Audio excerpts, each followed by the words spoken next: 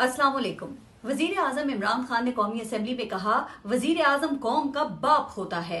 तो सोचा कि कौम के अब्बू से कुछ बातें की जाए। उनको बताया जाए कि ये जो आपने अचानक पेट्रोल बम फोड़ दिया है, इससे आपकी औलाद की चीखें निकल निकल कर बनी गाला के दर दीवार से टकरा कर वापस आ रही हैं और सवाल कर रही हैं कि अबू, ये क्या? आप तो पेट्रोल माफिया को सजा देने का कह रहे थे। यहाँ चवालीस फ़ीसद कीमत बढ़ाकर अपनी ही औलाद को सजा दे डाली। क्या आप कौम के सगे अब्बू हैं? जनाब वज़ीर आज़म साहब, यानी कौम के अबू हम बड़े परेशान हैं कि जहाज़ में सफ़र करें, बाय रोड कहीं आए जाएँ, ट्रेन में हिचकोले खाएँ या फिर कोई और तरीका आजमाएँ।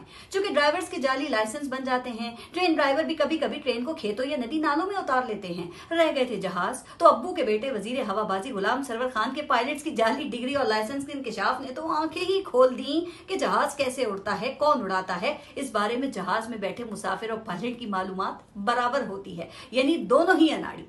खैर, मुझे यकीन है कि अब कौम के अब्बू, वज़ीर आज़म, खुद भी जहाज़ में जब बैठेंगे ना तो पहले पायलट की डिग्री और लाइसेंस चेक किया करेंगे। वैसे डिग्रियाँ अकल और दिमागी सेहत तो उन गुजरा की भी चेक करना ज़रूरी है, जो अपनी गाली से लेकर अपनी नालायकी तक सब कुछ स्लिप ऑफ़ टंग के पर्दे में छुपा रहे हैं। चाहे वो वज़ीर मोहलिया जरताज गुल के कोरोना पर उन्नीस नुकात हों, वज़ीर सेहत यासमीन राशिद के लाहौरियों को जाहिल समझने वाले तस्वुरात हों, या फिर वज़ीर जातियात और गैर अखलाकियात फैयाज उल हसन चौहान के फवाद चौधरी में मौजूद किसी कीड़े के बारे में जरी ख्याल हों।